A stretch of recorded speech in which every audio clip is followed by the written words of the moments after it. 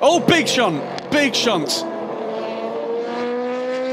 Number two or number three, really difficult to identify. It's the one with the blue shade band, and that is the number three car for United Autosports after Oh. contact with Constantine, no, with Tim Ray That was, a, potentially. that was a huge impact, a huge front, frontal impact Yeah. for the United Autosports car. because there are no tyres there. Mike Guasch.